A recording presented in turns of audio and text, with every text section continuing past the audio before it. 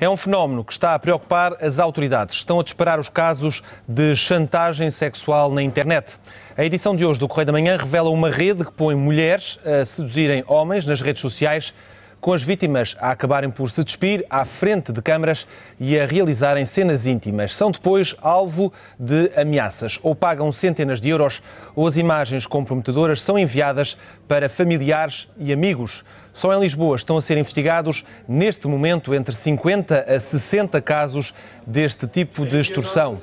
O Correio da Manhã de hoje dá conta de alguns desses casos, nomeadamente ocorridos na última semana, e fala ainda com o responsável da PJ pelo combate ao crime informático, que confirma a dificuldade em resolver este tipo de crimes. Um assunto que estará em destaque no CM Jornal a partir do meio-dia e meia.